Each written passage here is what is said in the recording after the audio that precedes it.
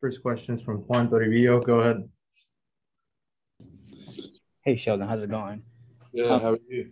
Good, good. Thank you. Um, because kind of first of all, what was your reaction when you found that you were getting traded uh, to the Dodgers?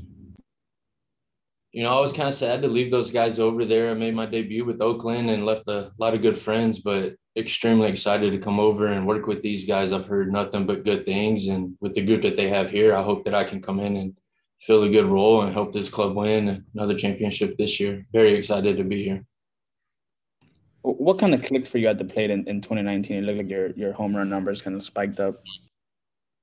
I think I was just squaring the ball up more consistently, not trying to do too much, um, just keeping everything really simple. And kind of for, for us who, who don't know you, like where do you play kind of all over the field second? Where, where do you feel more comfortable playing defensively? Honestly, anywhere. Um, grew up playing shortstop, played third when I got into professional baseball, made my debut at second, and I've played first over the past couple of years here and there. So honestly, anywhere in the infield, I feel comfortable. Awesome. Thank you. Next question is from Mike DiGiovanna. Go ahead.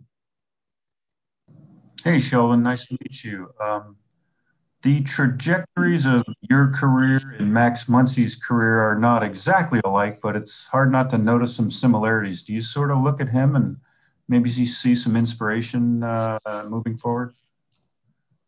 Definitely. You know, a guy that when I got into Oakland was getting out and came over here and just excelled was incredible. Um, looking forward to getting to talk to him more and working with the guys here, and um, hopefully we can find something that clicks and allows me to excel the same way.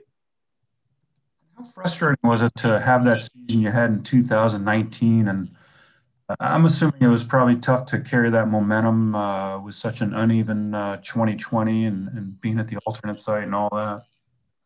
Uh, it's just baseball. I mean, control what you can control. I just try to go out and play and um, hopefully get a shot.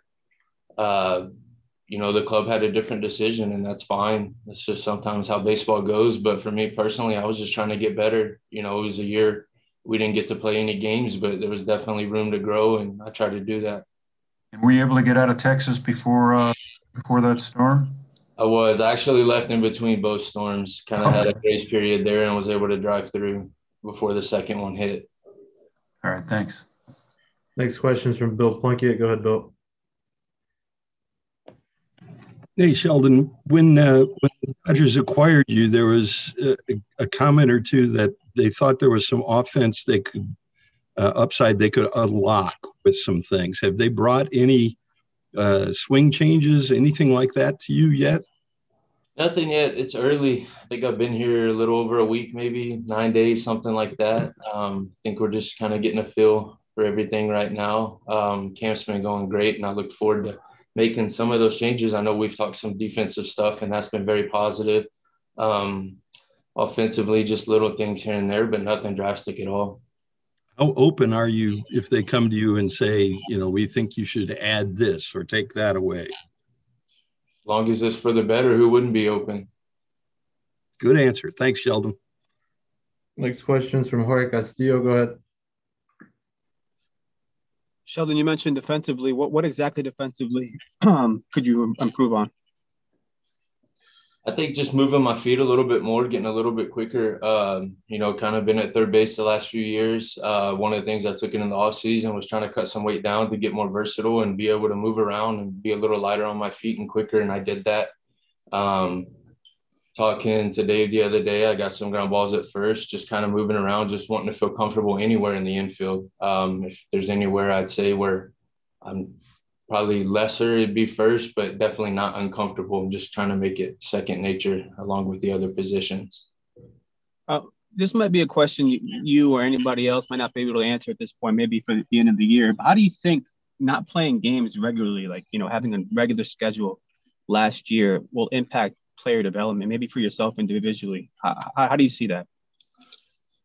That's a hard question to answer now so early. Um, I mean, if you did the right things, if we were still playing scrimmages and inter squads and things like that, or you can get better work in the cage, get out on the field, take some ground balls. I mean, there's definitely ways to still get better, whether you're playing in a game or not. Um, maybe a little harder, but it's kind of hard to tell. You don't really know until the season gets on and gets going. And uh, just you were traded with Treinen right to Oakland. Um, I'm just wondering how many guys did you, did you know? Other guys did you know here in LA? Played against a couple guys. Uh, played with Treinen. Uh, other than that, played with Seager when I was younger. Other than that, I don't really know a whole lot of people here, but everybody here has been very open and welcome. It's been very nice. Uh, when did you when you when did you play with Seager?